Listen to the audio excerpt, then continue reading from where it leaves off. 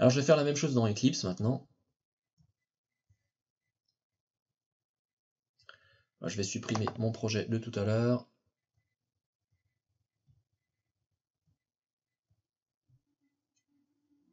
Alors je vais créer un nouveau projet Java avec Maven. Et là, vous devez faire New, Other.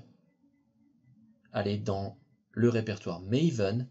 Et là, vous avez euh, un choix, euh, Check out Maven Project for SCM, Maven Module, Maven Project.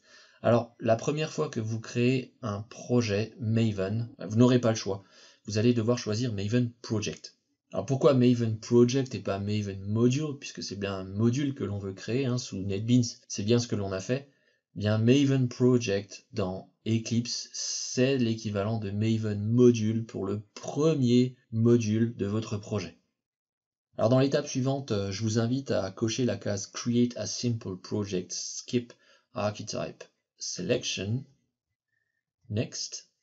Et là, on va à nouveau vous demander eh ben, ces informations, group ID, comme .mycompany.premier test artifact ID qui était dans NetBeans, un copier-coller du nom du projet, c'était donc le nom du module, je vais l'appeler module 1. La version, on va choisir la version 1. Ne tenez pas compte de cette entrée ici, packaging, laissez jar. Puis ici dans name, vous pouvez mettre module 1 si vous voulez. Et on va faire finish.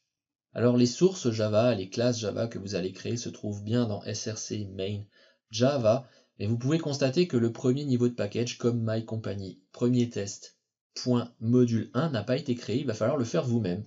On va le faire comme mycompany, point premier test, module 1. Et on va créer notre classe premier test avec un public static main.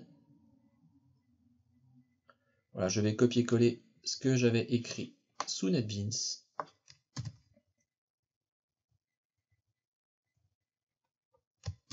Voilà. Bien évidemment, ça compile pas puisqu'il me manque la classe string utils, il me manque la librairie où se trouve la classe string utils.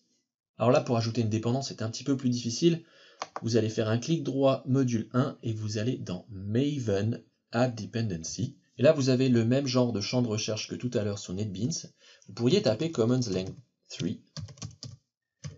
Et normalement, il ne devrait rien se passer. Alors chez moi, j'obtiens des résultats, mais chez vous, vous n'obtiendrez strictement rien. Et un message vous indiquera là en bas pourquoi. Index downloads are disabled, search results may be incomplete. Autrement dit, par défaut, Eclipse ne télécharge pas cet index qui va vous permettre d'effectuer des recherches dans les différents dépôts, sous-entendu essentiellement dans Maven Central. Alors pour activer la recherche, il va falloir faire une petite opération. Vous pouvez fermer ce wizard et vous devrez aller dans Window, Preferences, vous trouverez une entrée Maven et vous allez checker ici Download Repository Index Updates on Startup. Ce qui veut dire, quand on démarre Eclipse, eh bien, on veut mettre à jour ce fameux index. Vous faites Apply and Close. Et allez savoir pourquoi, à part en redémarrant Eclipse, pas moyen de télécharger cet index. Je vais donc redémarrer Eclipse.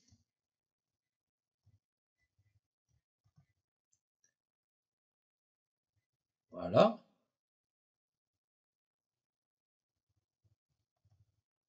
Et là, vous devez voir Dating Indexes, un processus qui va tourner là aussi pendant plusieurs minutes sur votre machine. Alors moi, c'est extrêmement court puisque ça a déjà été fait. Là, il s'agissait que d'une mise à jour. Et à partir de là, eh bien, vous pouvez à nouveau faire un clic droit, Maven, Add Dependencies, et écrire Commons Lang 3. Voilà, et je retrouve mon Common Lang en version 3.7, il est là. Alors cette librairie a bien été ajoutée dans mon projet. Vous pouvez le voir ici sous Maven Dependencies. Voilà, Commons Link 3. Et je peux maintenant importer ma classe StringUtils. La voilà. Je sauvegarde. Et je peux désormais exécuter mon code. Voilà donc le résultat.